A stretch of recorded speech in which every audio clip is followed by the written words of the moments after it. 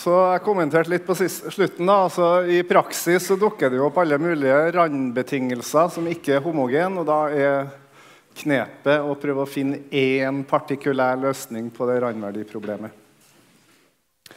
Akkurat som inhomogene diffligninger. Finn en partikulær løsning, og så får vi løsning på tilhørende homogene problem. Og det homogene problemet det kan vi løse med separasjon av variabler. Så og eneste lille modifikasjonen det blir jo da den her må vi funnet. da, og Så skal vi løse den, og så løser vi den på vanlig måte.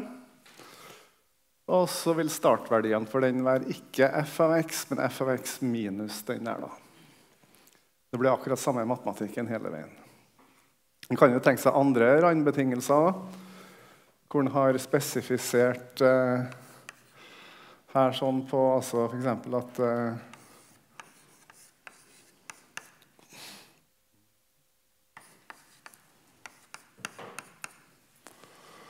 Ja, det er en konstant. Hva skal vi kalle den? da? A. Og at du dx L av t er lik b. Da har vi på en måte spesifisert hvor mye som strømmer inn og ut av modellen. Hvis vi tenker på Fouriers lov.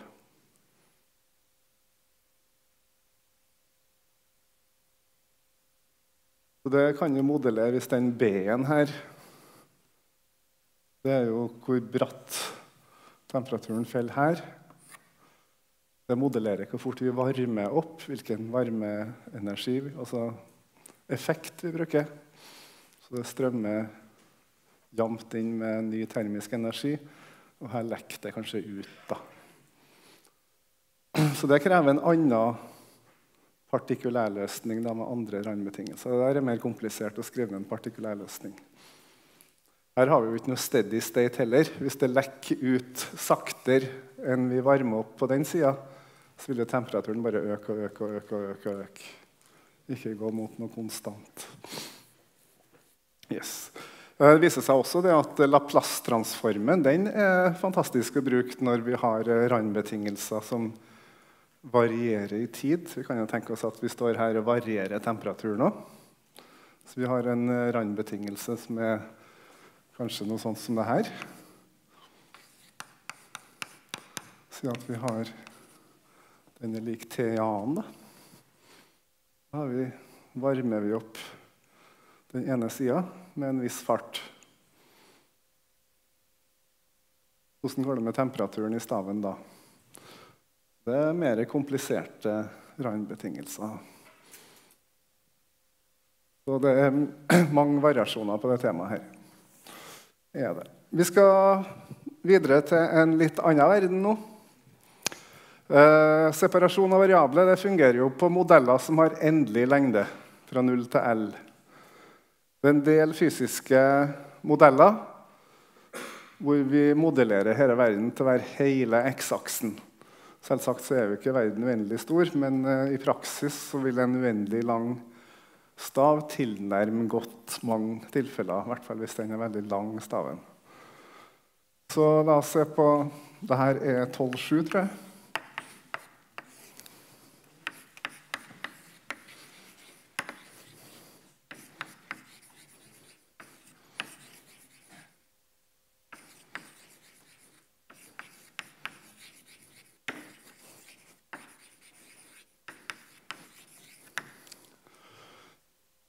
Vi har sett at forrige spiller en nøkkelrolle for å løse partielle diffligninger på endelig lengde. Fourier-transformen var jo en slags grenseverdi av Fourier-rekkene når vi går mot eh, Eller Fourier-integralet, rett og slett, er grenseverdi av Fourier-rekkene når vi går, perioden går mot uendelig. Så Det er kanskje ikke så rart at Fourier-transform også kan brukes på å løse sånne ligninger. Eh, før vi setter i gang med det, la oss ta en liten titt på noe spesielt nå. Eh, først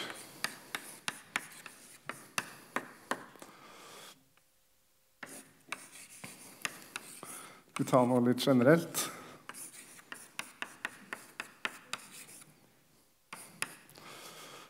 Vi har et integral av en tovariabel funksjon bestemt integral. Integrerer vekk x-en. Så står vi igjen med en funksjon i t. Eh, den deriverte av den funksjonen der Går det an å regne ut den på en annen vis, tru? La oss se hva det er for noe.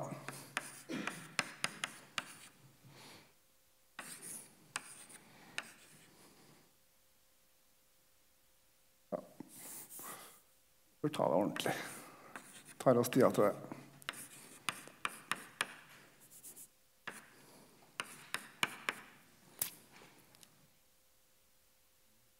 Det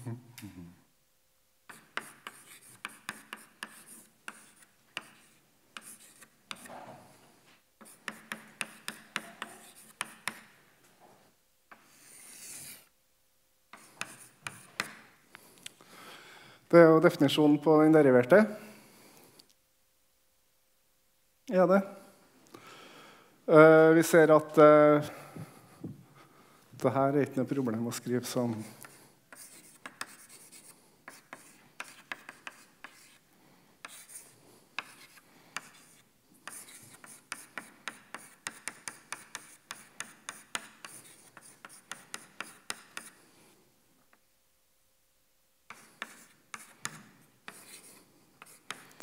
Det der. Er det ikke?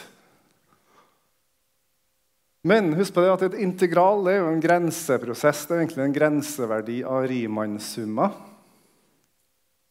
Så her står det at vi først skal ta en grenseverdi av Riemann-summa, og så skal vi ta en grenseverdi der delta t går mot null. Uh, hadde det vært mulig å snu den grenseprosessen, sånn at vi tar den grensen ytterst, og så flytter vi limmen innafor. Tror jeg.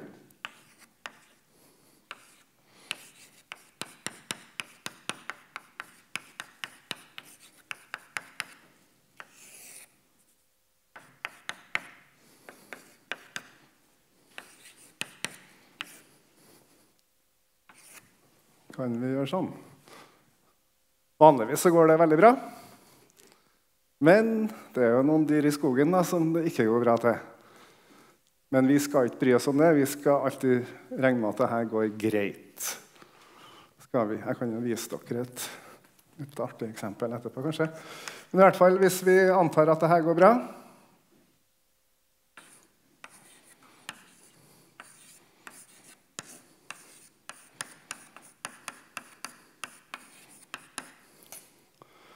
Så får vi det der per definisjon.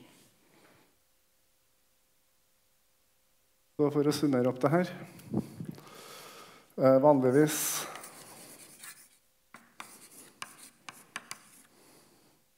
er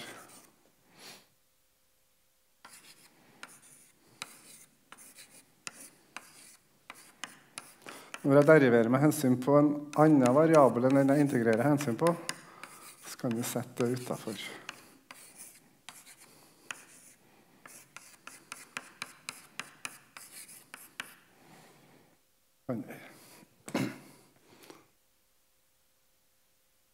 Sånn bytte av grenseprosesser det er en stor forskningsaktivitet i matematikken. Og det finnes en del sånne mer generelle setninger som sier når det er lov til å gjøre sånne ting som det her. Å flytte grenseverdiene innafor. Skal ta oss tida til et kjapt, lite artig eksempel her, da. På når sånn bytte av grenser kan gå feil. Veldig enkelt eksempel. Så vi har en følge av funksjoner.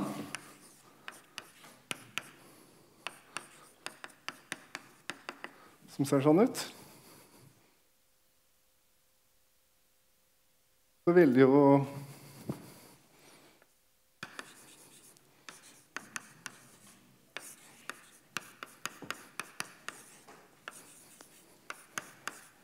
Siden eksponentialfunksjonen går så mye fortere mot null, minus nx, men det n går mot uendelig. Så er det jo sånn. Hvis jeg ser på Ja, la oss eh, regne ut det først, da.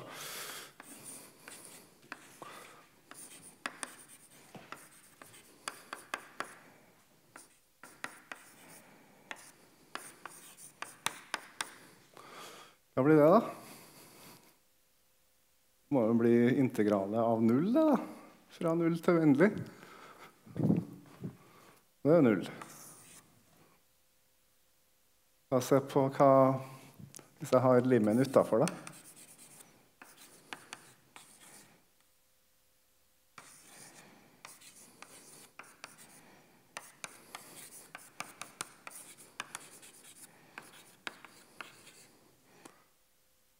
Ja, integralet der tar vi vel i hodet, gjør vi ikke det?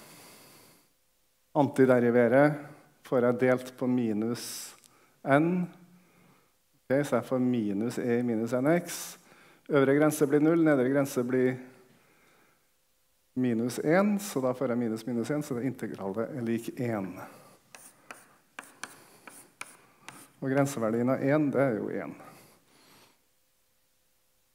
Da ser vi at vi får forskjellig resultat om jeg tar grenseverdien innafor. Det er ikke helt samme type eksempel som i sted, men her ser vi generelt at det er et spesialtilfelle av hvor det går galt å flytte sånne grenseverdier innafor. Så det her er også sånn Men det fins en del sånne setninger som sier hva denne følgen her av f-er må oppfylle for at vi kan bytte om på, på dette her. Det hører til litt mer avansert matematikk. Det heter dominert konvergens, og så er det monoton konvergens. og så er det som heter Fatos lemma og alt mulig rart. Så det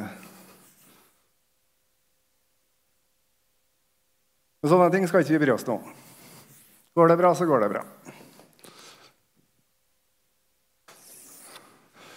Ja, La oss gå tilbake til Fourier-transformen.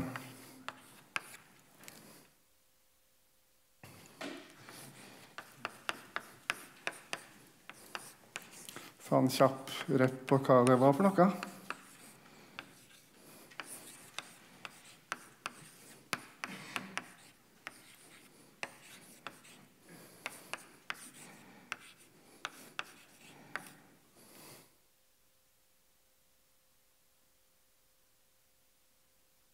For hver faste omega eller W jeg pleier å bruke dem litt om hverandre, så får vi et integral. Verdien av det integralet det er f hatt av omega. Og det er Fourier-transformen til f. Eh, vi husker med delvis integrasjon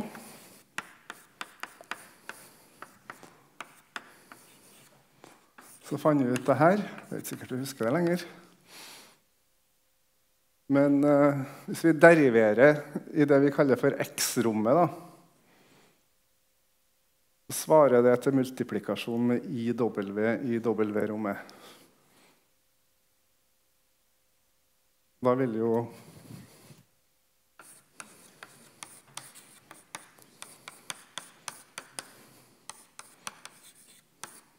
Gang to, da.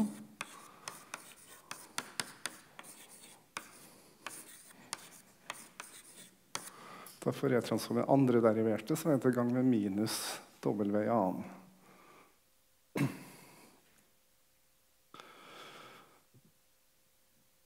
Hvis jeg har en tovariabelfunksjon Det er alltid variabelen x vi transformerer til. Så vil jo t-en her bare være en parameter som står bom stille. Vi integrerer jo vekk x-en og sånne ting. Så her er det vanlig derivasjon med hensyn på den x-en som vi tar forrige transform med hensyn på. Så det her er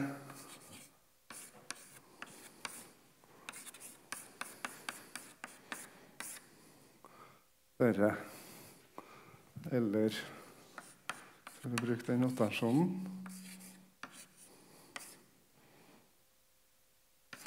Her er bare den T-en med som en nisse på lasset, sånn konstant. Og tilsvarende, Hvis vi tar Fourier-transformen av den andre deriverte med sin på x, så blir det i gang med minus W annen. Eh,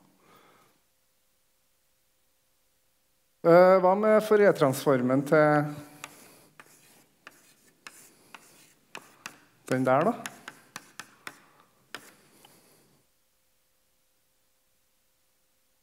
Og deriverer vi med hensyn på ikke den variabelen som vi tar Fourier-transform med hensyn på, men med hensyn på T-parameteren. La oss skrive det ned, så vi ser helt sikkert hva vi gjør.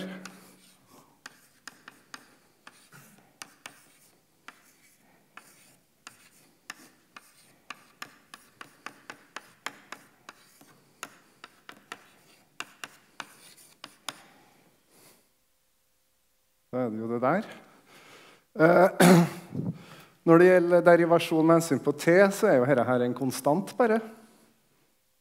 Her må vi holde tunga rett i munnen med alle mulige variablene.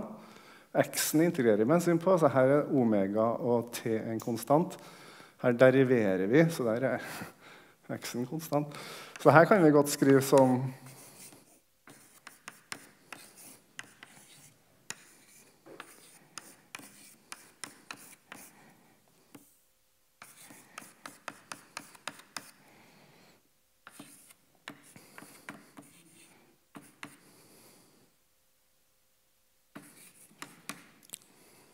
Der. Da har jo vi nettopp eh, argumentert for at eh, sånt integral som det her, da kan vi flytte den derivasjonen utafor som det der. Så det her er lik Ja, det her er også en konstant.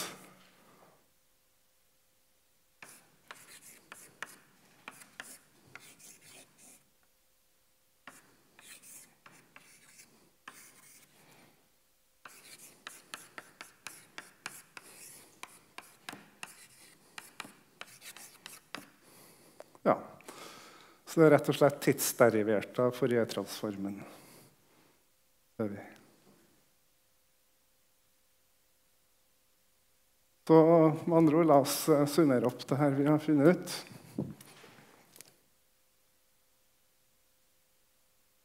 Det at eh, Fourier-transformen til UX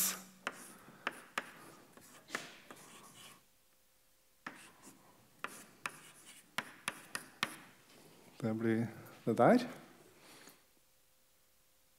Mens Fourier-transformen til UT blir det der. Derivert av E-transformen. Det er forskjell på X-en og T-en vi tar Fourier-transform av det. Yes. Og det Vi skal gjøre, vi skal gjøre akkurat sånn som vi gjorde med Laplace-transform. Vi starter med en diffligning. Så tar vi istedenfor Laplace-transformen Fourier-transformen av den. Så får vi ligning for Fourier-transformen til løsninga vi er på jakt etter.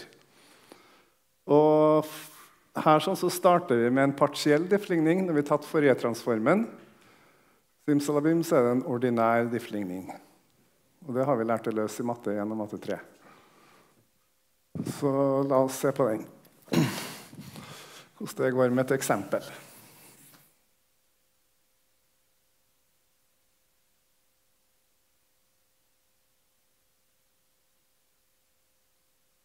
Så vi bruker samme framgangsmåte som med Laplace. Så altså jeg har en uh, Si at vi har uh,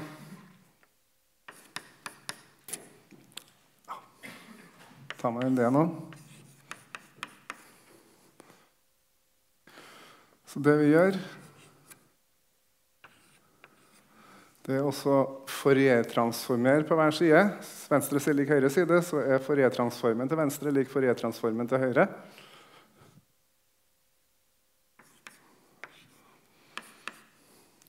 Og siden det er derivert to ganger, så blir det i w annen, så det blir minus d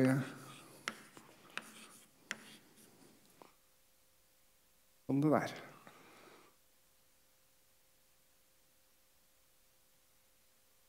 Løser vi den.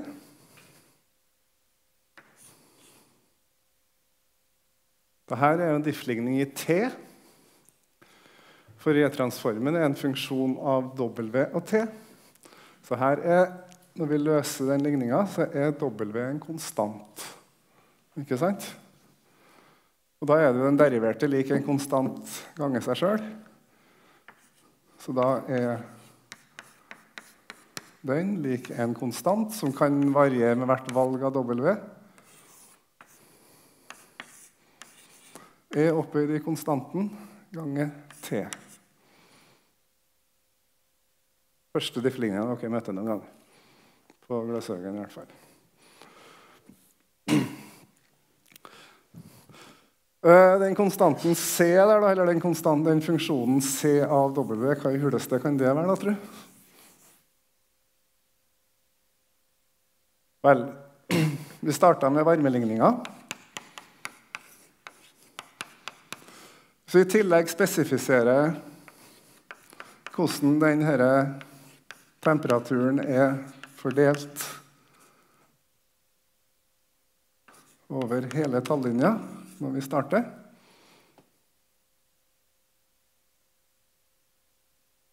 Så ser jeg at spesielt for Så jeg tar Fourier-transformen på hver side.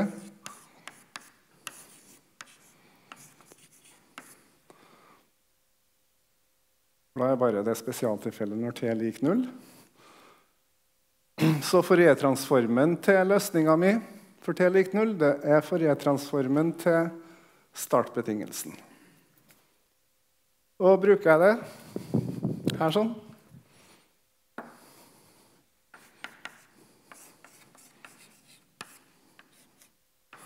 Sett t lik null.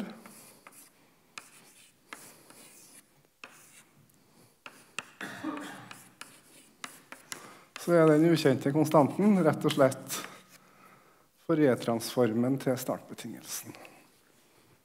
Og da har vi Fourier-transformen til løsninga vår. Har vi. Det gikk jo fryktelig kjekt og fort og greit.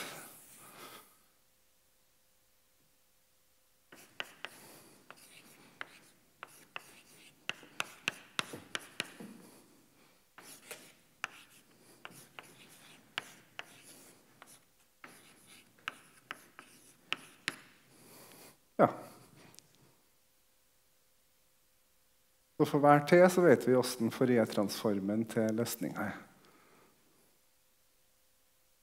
Da kan vi egentlig skrive opp løsninga ved hjelp av Fourier-integralet. Så det er ett alternativ.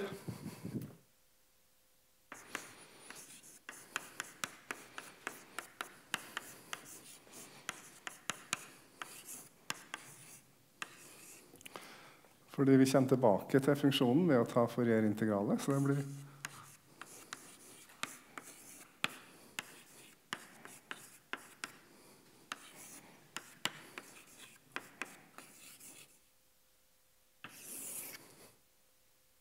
løsninga. Klarer vi å regne ut integralet der, da har vi en eksplisitt formel for u av x, t. Dette er den ene måten vi kan skrive ned løsninger på. Eh, den andre den bruker konvolusjon. La oss ta en kjapp recap på. Konvolusjon.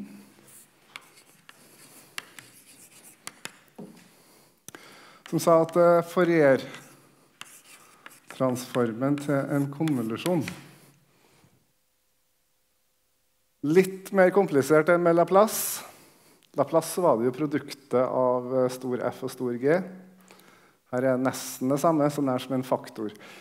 Uh, huskeregelen jeg bruker på det her, når jeg tar Fourier-transformen én gang, så har jeg delt på rota av 2 pi én gang.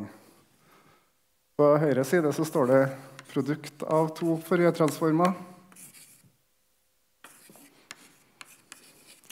Da har jeg delt med rota av 2pi to ganger. Så for å kompensere det, så må jeg gang med 2pi. Det er én måte å huske på. Så det der er en nøkkelformel i forbindelse med diff-ligninga. Fordi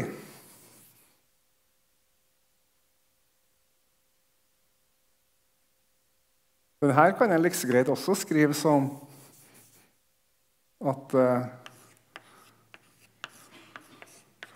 Jeg kan flytte den faktoren der.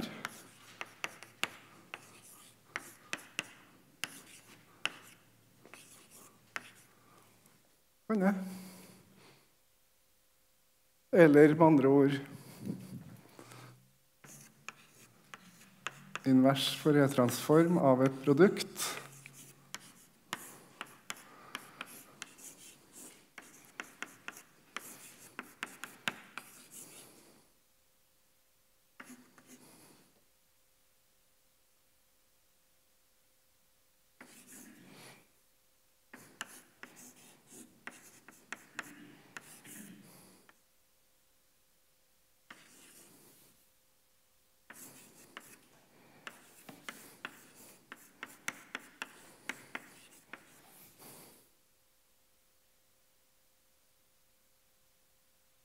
Litt sånn. Fordi poenget er at eh,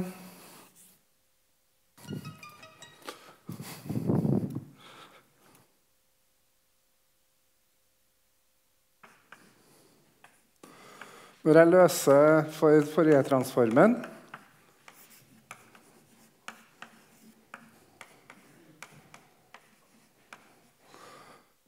Så er Fourier-transformerte av eh, jeg har det er produkt mellom Fourier-transformen til startbetingelsen og en annen funksjon.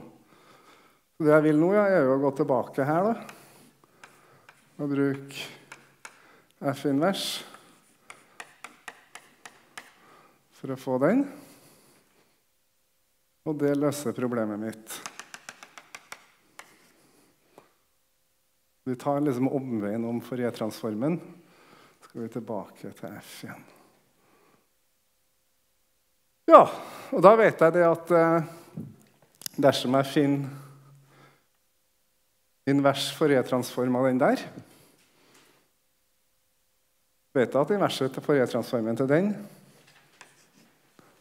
er f av x. Så da kan jeg skrive svaret mitt som en konvolusjon isteden. Kan jeg. Vi har allerede regna ut følgende. Det gjør vi på tavla. Sikkert ikke så mange som husker det, men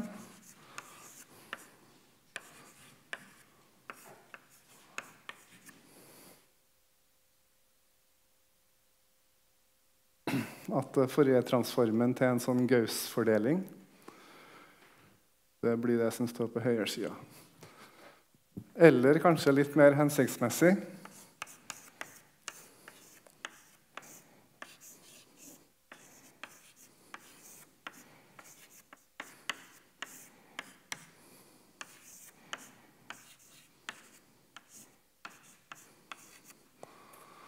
får vi den der.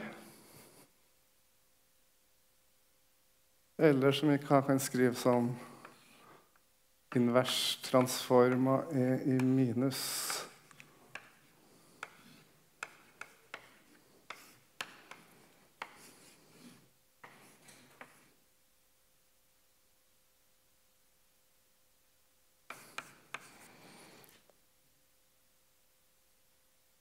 Den kan vi bruke her, vet du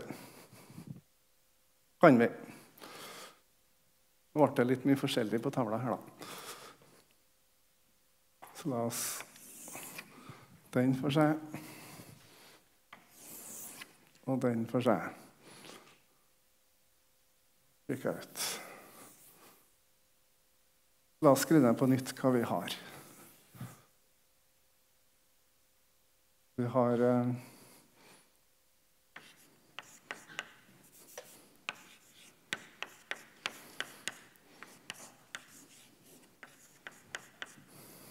Ja.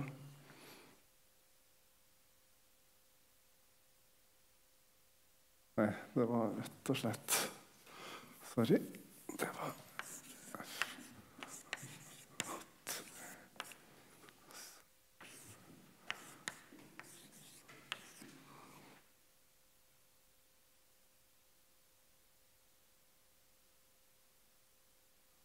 Hvis vi lar G av XT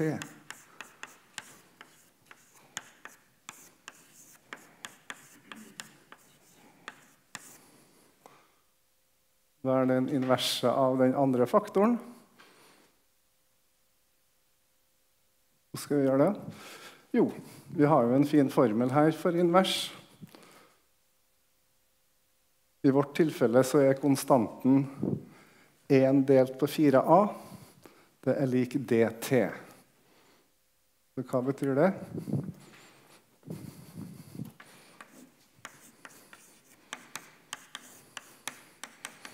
Det betyr at A er lik 1 delt på 4DT. Da kan vi bruke formelen. For da er F invers av den her.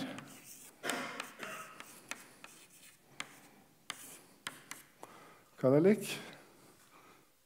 Jo, nå bruker vi formelen. Kvadratrota av 2 ganger 1 delt på 4dt e i minus og a-en. Så jeg får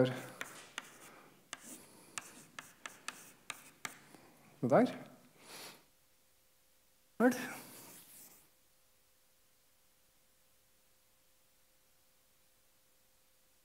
Ja.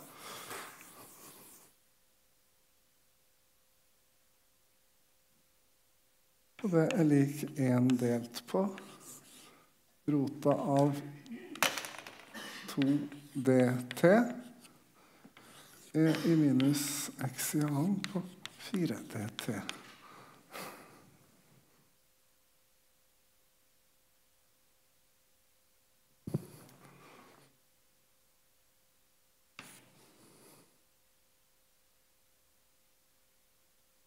Da vet jeg det at u-en min,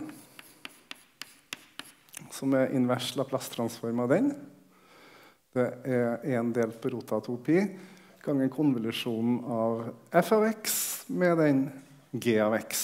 Her er t-en bare med som en parameter.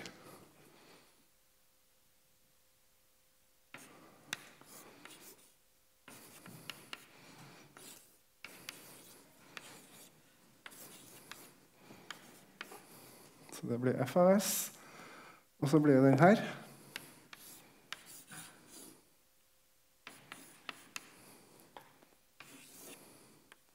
Istedenfor x så skal det være x minus s.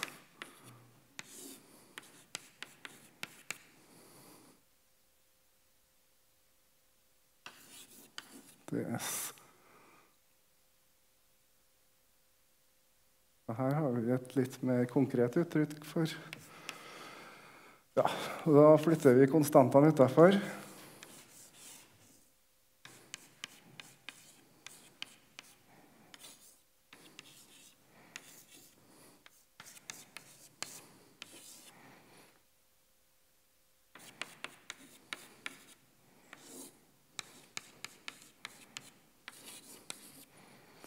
Da har vi løst varmeligninga for uendelig lang stav med gitt startbetingelse.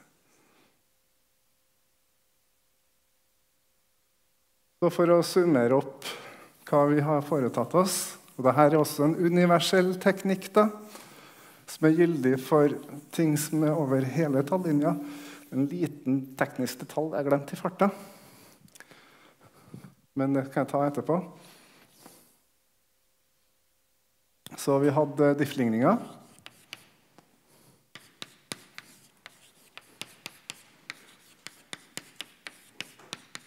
Og startverdi. Fikk ordinær diffligning for u hatt.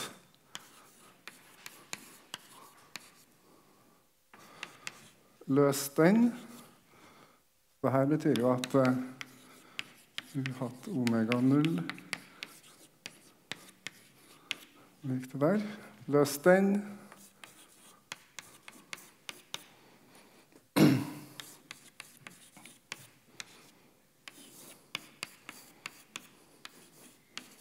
Fikk det der.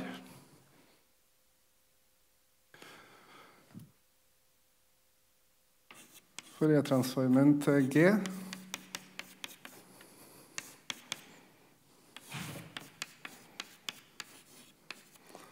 den andre faktoren. Som andre ord U av xt lik denne faktoren her, da. Gange f stjerne g, der t-en bare er med som en parameter.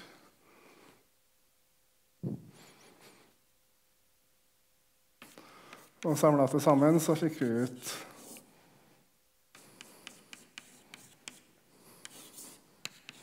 svaret som et sånt integral.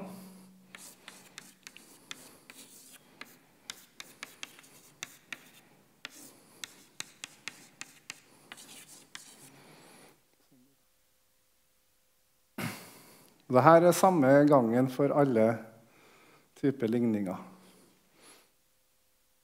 Altså, de må helst være lineære, da. Det helst de må være det.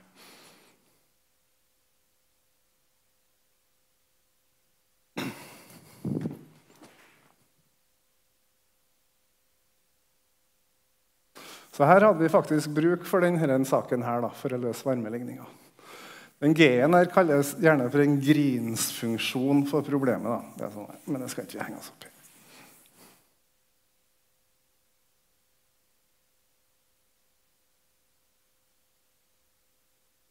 Vi kunne jo hatt en startbetingelse som var en deltafunksjon. Hvordan blir det? Hvis eh,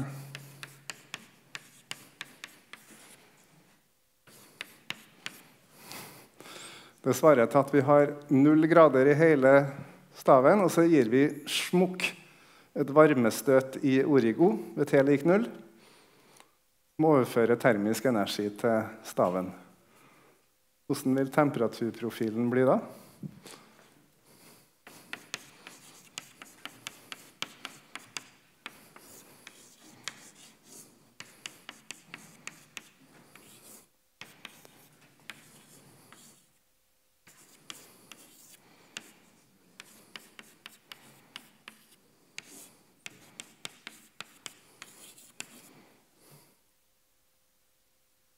Hva blir verdien av integralet der, da? Jo, per definisjon av deltafunksjonen så fanger vi integralet her. Det er rett og slett funksjonsverdien her for s lik 0.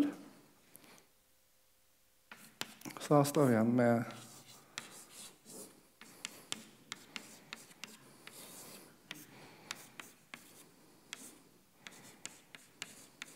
Dette som er Grins-funksjonen.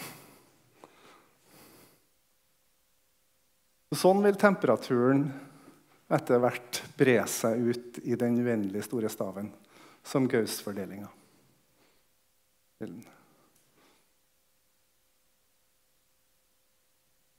Så Gauss-fordelinga har tydeligvis litt med temperaturutbredelse å gjøre.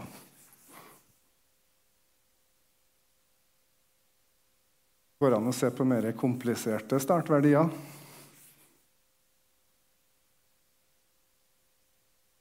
For eksempel så kunne vi tenke oss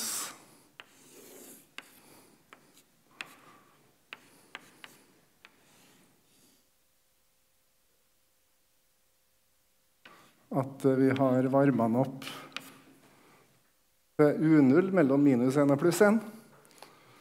Og så lar vi varmen bre seg utover. Da er det klart vi får noe sånn temperaturprofil ala det der etter hvert. Og vi kan jo godt skrive ned en sånn integrasjonsformel for hvordan temperaturen ser ut. Og så gjør det.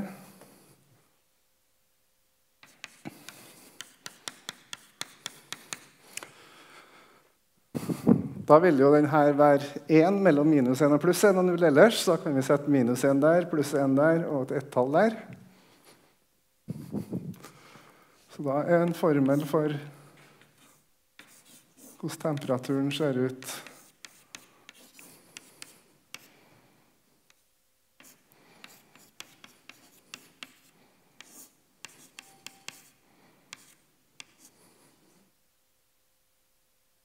gitt ved det integrale der.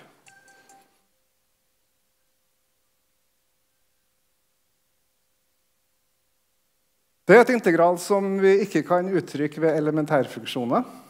Det gir opphav til noe som kalles for feilfunksjon, eller error function på utenlandsk. Så Altså den feilfunksjonen, Vi kan uttrykke svaret her ved hjelp av følgende funksjon. Rf av x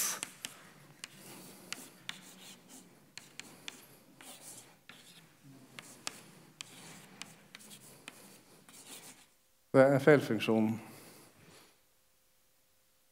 Bruker dukker opp i masse anvendelser, bl.a. her. Det er en såkalt spesiell funksjon. da. Så mange andre funksjoner. Jepp. God helg.